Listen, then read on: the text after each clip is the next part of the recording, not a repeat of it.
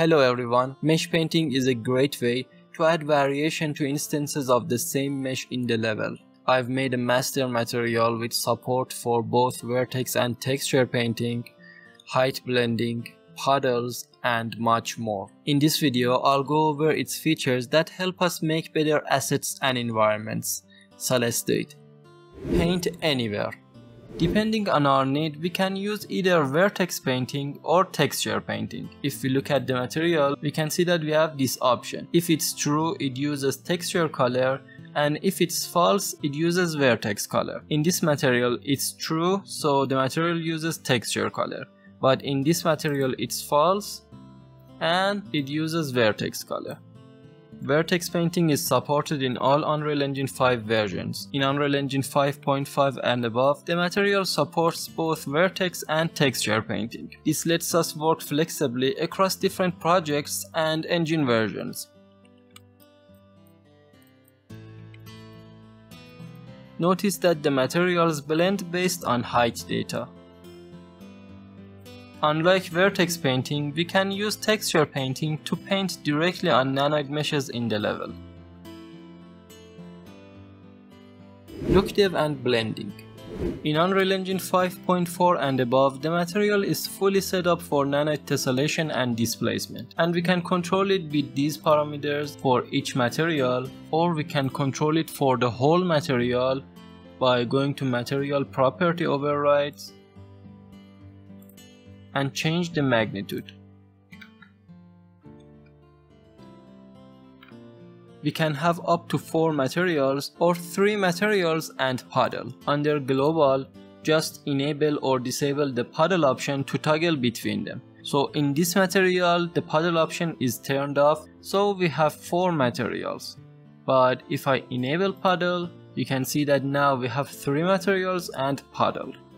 The different materials can be blended using mesh painting and height data. Earlier we saw how we can use mesh painting to blend the materials, but if we go under each material parameters, we have these height texture multiplier and contrast parameters to control how they blend. For example, if I increase it for the base material, which is the cobblestone material, we can see that this is what happens.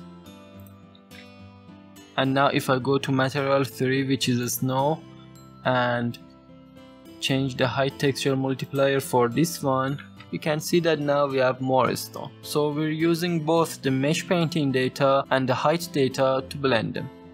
Enable the blue channel to paint some puddle over here. We can see that the puddle also uses height data to realistically blend with the other materials and we can control the height with these parameters. We also have these other parameters to create different looks and add dynamic ripples. We can use custom masks like logos to layer in detail exactly where we want it. And as you can see, it blends in based on height data. Now we can increase the multiplier to control how much snow we have. So if I set it to 1, we have no snow, 2, 3, four, five, six. There are a lot of parameters to control how each material looks and feels.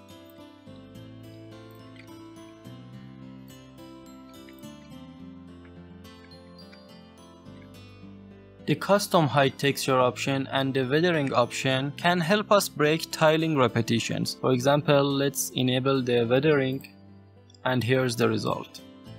Now I have changed the settings as you can see. So here's with weathering and here's the material without weathering.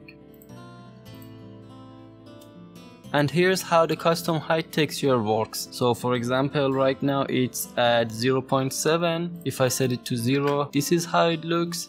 And if I set it to 0.7 or 0.5, this is how it looks. Now we can set the size of the custom height or we can offset it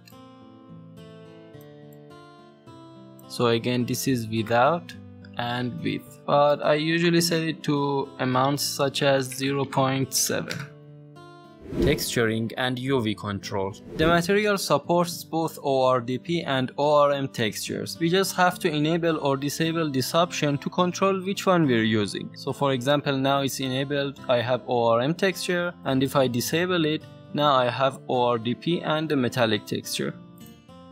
And we have these options also to control whether we have a specular or subsurface texture. These parameters can help us quickly adjust the scaling and offset for each material.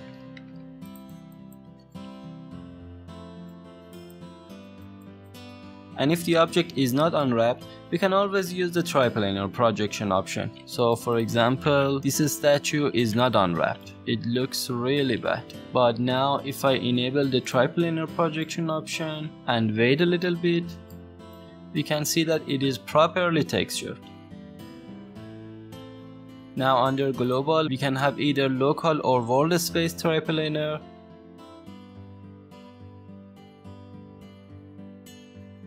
For performance, we can switch between cheap or expensive triplanar. Cheap triplanar uses fewer texture samples, which affects shader complexity.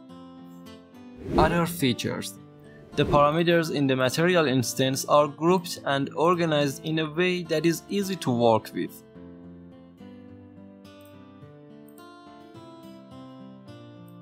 There's an example level and a couple of material instances provided with the project to get you started. If you have any questions or issues when using the asset, you can message me on Telegram or Discord and I will help you. No matter what project you're working on, this material will save you a lot of time grab the material from the link below and start creating with it. Use this code to get 20% off at checkout. It's only available for the first 30 purchases.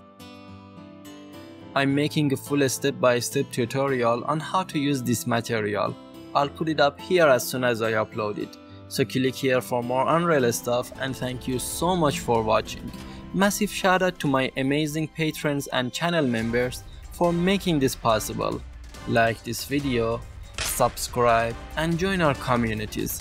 If you have any questions, leave them in the comment section below. So, see you in the next one.